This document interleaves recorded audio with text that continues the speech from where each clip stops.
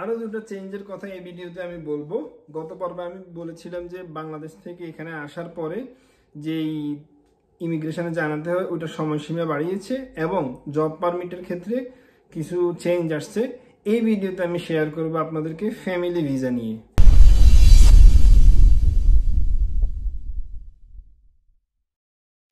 Family ভিসার ক্ষেত্রে আগে আপনি যদি আপনি যদি থাক, এই দেশে লং টার্ম রেসিডেন্স পারমিট যেটা কার্ড রেসিডেন্স কার্ড নিয়ে থাকেন, কিন্তু আপনার ছেলে বা মেয়ে দুই সালের বয়স থাকা অবস্থায় আপনি কিন্তু আনতে পারতেন আগে চেক রিপাবলিকে ওদেরকে ফ্যামিলি ভিসা নিয়ে আসার ক্ষেত্রে।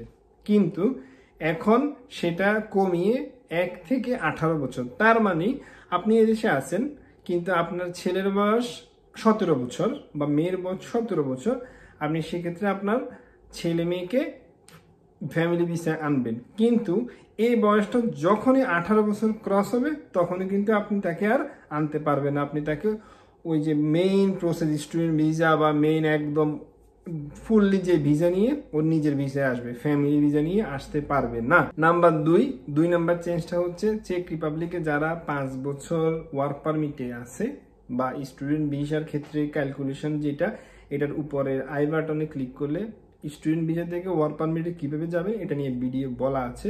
পাঁচ বছর থাকার পরে আপনি এদেশের ল্যাঙ্গুয়েজ সার্টিফিকেট এর জন্য এক্সাম দিতে হয়, সেটার লেভেল হচ্ছে এ টু আপনাকে পুরো আইএলস এর মতো সিস্টেম রিডিং স্পিকিং রাইটিং সব কিছু এবং লিসিনিং একদম আইএলটিএস এর মতো সব কিছু এরকম চেক বাসা এক্সাম দিয়ে পাশ করতে হবে। পাশ করার পরে আপনি পারমানেন্ট রেসিডেন্সি যেটাকে বলে ত্রাবালি পবিত ওইটা পাবেন আপনি।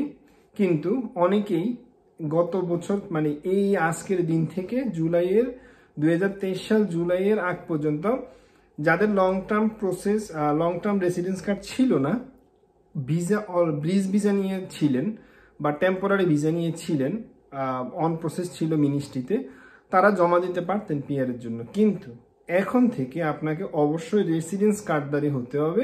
রেসিডেন্স কার্ড থাকার পরেই আপনি পিয়ারের জন্য অ্যাপ্লিকেশন করতে পারবেন। এই ছিল কিছু চেঞ্জ আরও কিছু চেঞ্জ আছে। পরবর্তী ভিডিওতে আপনাদেরকে আমি বলব।